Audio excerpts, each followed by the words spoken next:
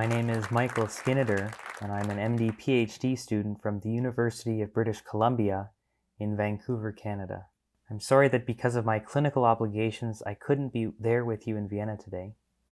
But I'm very honored to have received the International Burn Seal Award, and I'm very grateful for this opportunity to tell you about some of my work over the last few years on machine learning for biological mass spectrometry. Today, I'd like to tell you two different stories about how I've applied machine learning to large scale biological datasets generated using mass spectrometry to help understand and diagnose human disease. I'll tell you first about using proteomics to understand the molecular basis of inherited disease, and then about using metabolomics to diagnose acute drug intoxication. I've spent the last eight years in Vancouver earning my MD PhD with Leonard Foster, an internationally recognized expert in using mass spectrometry to measure proteins. And this, of course, is a technique known as proteomics. In my PhD thesis, I used proteomics to tackle an interesting puzzle in genetic disease, which is that inherited mutations which are present in virtually every cell in the body, often cause dysfunction in just a single tissue. For example, in Huntington's disease, the mutated Huntington protein is actually expressed at high levels in the heart, liver, and lungs, in addition to the brain. But we think of Huntington's disease as a neurodegenerative syndrome, not a cardiovascular disease. So, why is that? One hypothesis might be that the Huntington mutation is affecting a brain specific protein protein interaction, and perturbing that interaction is what ultimately leads to neurodegeneration. The challenge is that to test this kind of hypothesis, you would need a method to systematically map protein protein interactions in the brain, and this had never been done before. The most widely used methods to map protein interaction networks take place in genetically modified cell lines or in heterologous expression systems in yeast. As an assistant professor, Leonard had pioneered a new proteomic approach to map networks of protein protein interactions called cofractionation mass spectrometry. The idea behind cofractionation was that you could take any arbitrary biological sample and use chromatography to separate the protein complexes within that sample according to their size into a series of fractions.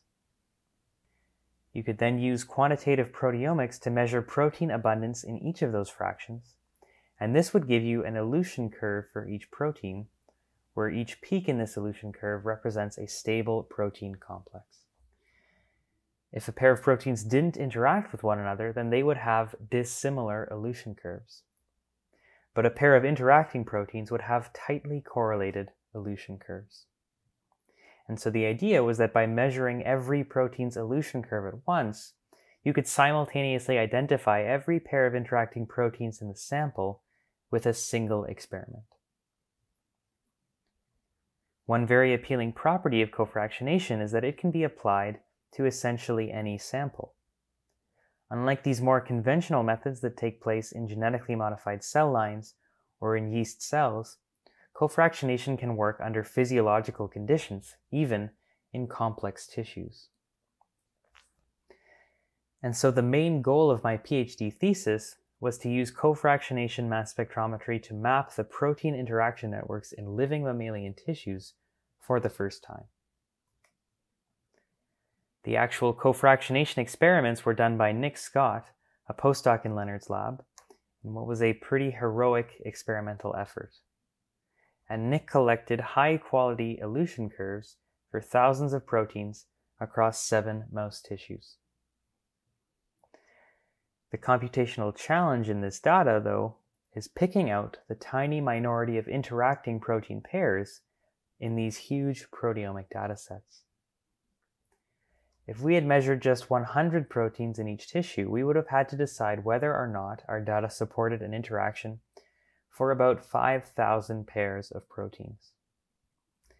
But we had measured upwards of 5,000 proteins in each tissue, and that meant that for each tissue, we had to decide whether or not 13 million different pairs of proteins were interacting. And so, to actually learn anything about biology from this dataset, I first had to overcome this challenge and figure out how to identify interacting proteins in cofractionation data. Now, I wasn't the first person to ever try to tackle this problem. Other people had collected cofractionation data before Nick, and they'd had to find a solution to this problem too. But I realized that in the literature, there was surprisingly little agreement on the best way to identify interacting protein pairs in cofractionation data. At the most basic level, people couldn't even agree on the best way to score how similar two protein elution curves were. I really wanted to solve this problem once and for all, and I decided that the only way to do this would be to reanalyze every cofractionation experiment that had ever been published. I downloaded more than 12,000 mass spectrometry files from 206 cofractionation studies and collectively had taken more than 27 months of uninterrupted mass spectrometry time to acquire. I then reanalyzed all of these experiments with the same computational pipeline, and I ended up with a dataset of more than 11 million measurements of protein abundance. When we submitted this dataset to PRIDE, which is the main repository for proteomics data, they told us that they were pretty sure it was the largest proteomic dataset in existence. I used this enormous dataset to figure out the optimal way to analyze cofractionation data.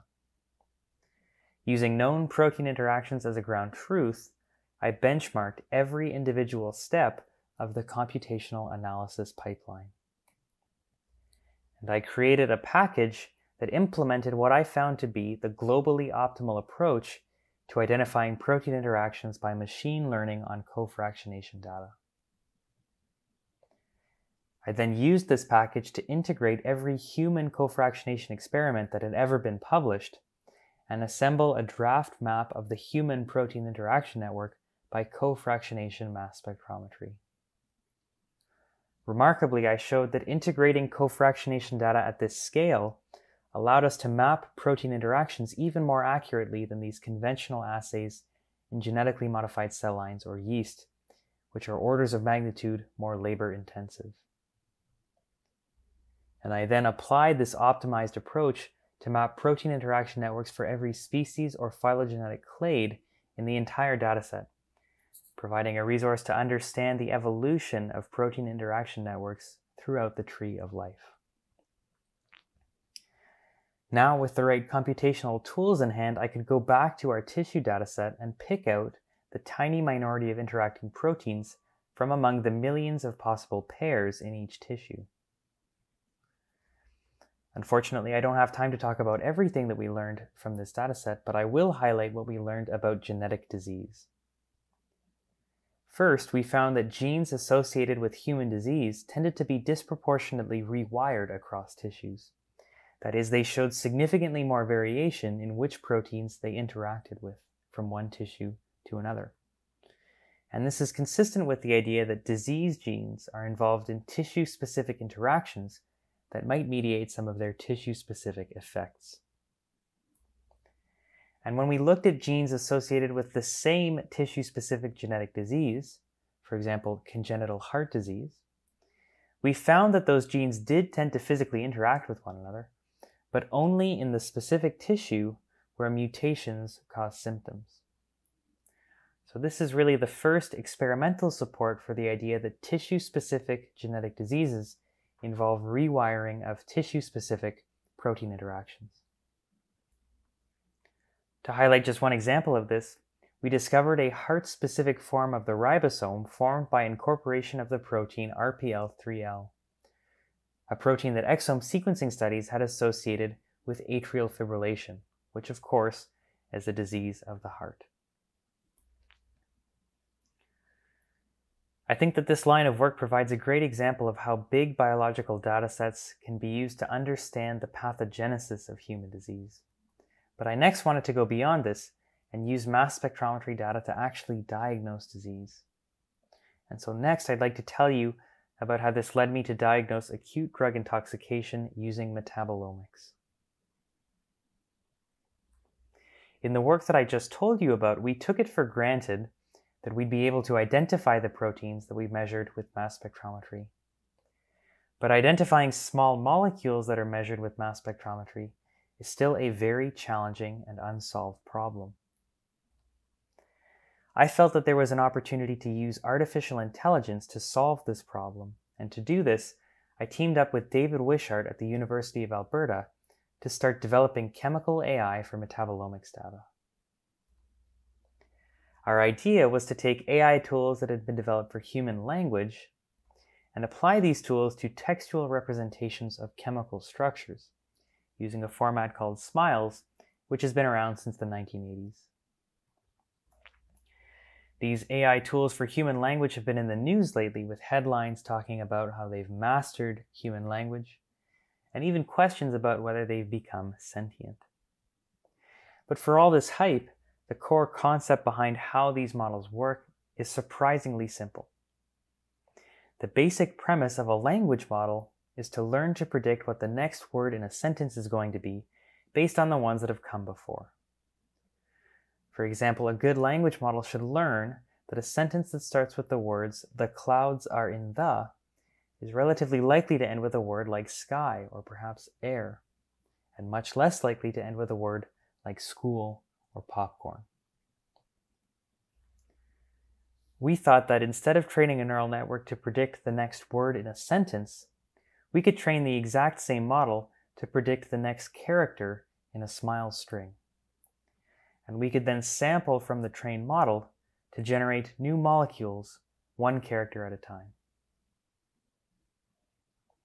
However, very early on in this work, we realized that we had a problem. Most studies that had worked with these kinds of models had trained them on hundreds of thousands or even millions of molecules. And that had worked really well. But there just aren't millions of known human metabolites. There are maybe tens of thousands. And when we tried to train a model on tens of thousands of molecules, we found that our model could barely even learn the SMILES format. And so to actually apply these models to mass spectrometry based metabolomics data, we first had to figure out if they could even be learned from such small data sets. The solution that we found is a new twist on an old idea called data augmentation.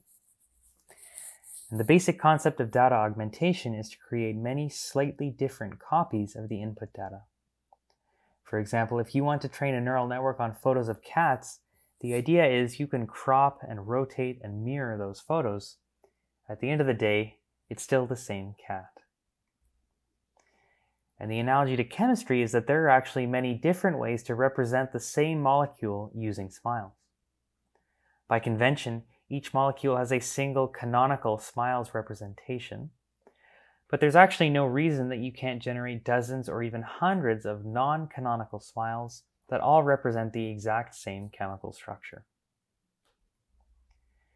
We found that when we started making many non-canonical smiles for the same molecule, we could essentially trick the neural network into thinking that it was learning from a much larger training dataset. All of a sudden, a neural network trained on just a thousand molecules was almost as good as the one trained on a hundred thousand molecules. And this wasn't just a theoretical advance, but it was actually the key insight that allowed us to start using these models to identify new molecules in mass spectrometry data. In a proof of concept study that we published last year, in collaboration with Peter Dalsgaard from the University of Copenhagen, we showed that our chemical AI could automatically identify one kind of unknown molecule in mass spectrometry data, specifically new designer drugs of abuse. So, what are designer drugs? Typically, they're slightly modified versions of existing illicit drugs that retain the psychoactive properties of those drugs while avoiding laws on drug control. Some of the best known examples of designer drugs include synthetic cannabinoids, synthetic fentanyl derivatives, and synthetic cathinones, also known as bath salts. The lack of laws controlling these drugs mean that they're constantly appearing on and then disappearing from the illicit market. and there are literally hundreds of new designer drugs detected every year. But actually identifying these molecules in biological samples, like blood, can be very challenging and labor intensive. And so we asked if we could use generative AI to accelerate this process. We trained a chemical language model on the SMILES strings of about 1,700 known designer drugs, and then we started sampling new chemical structures from this trained model. And we found that using this non-canonical SMILES trick, we were able to train a model that could generate new molecules from the exact same areas of chemical space as known designer drugs. In these panels, each point is a chemical structure, and the x and y axes show a low dimensional representation of chemical space. You can see that there's almost a perfect overlap between the generated molecules and the known designer drugs in these plots. And that suggests that our model has learned to generate molecules that are similar to known designer drugs. But as a more quantitative test of our model, we asked if it could correctly anticipate the designer drugs that emerged on the illicit market in the six months after our model was trained. Amazingly, we found that our model was able to correctly anticipate more than 90% of these emerging designer drugs. Now, one thing that you end up doing when you're writing a new machine learning model is you spend a lot of time looking through random outputs from the model. And as I looked through the model's outputs, I started to notice the same molecules being generated over and over. To quantify this more systematically, I sampled a billion molecules from the trained model. And I found that while most molecules were only generated once or twice, a small minority of molecules were being generated tens or even hundreds of thousands of times. And when I started to look at the chemical structures of these molecules, I noticed that the single most frequently sampled molecule was actually a new synthetic cannabinoid that had been discovered by forensic labs less than a month after we finalized our training data. More systematically, I found that molecules that were generated more frequently tended to be more structurally similar to a known designer drug. And so these observations led to a crazy idea. Could our AI be learning to statistically anticipate what designer drugs are going to emerge on the illicit market next? We tested this idea on a new designer drug that the Danish National Forensic Lab had just discovered, a new derivative of the street drug PCP called deoxymethoxetamine. And we asked if all we knew about this compound was its exact mass, would our model have guessed the right structure?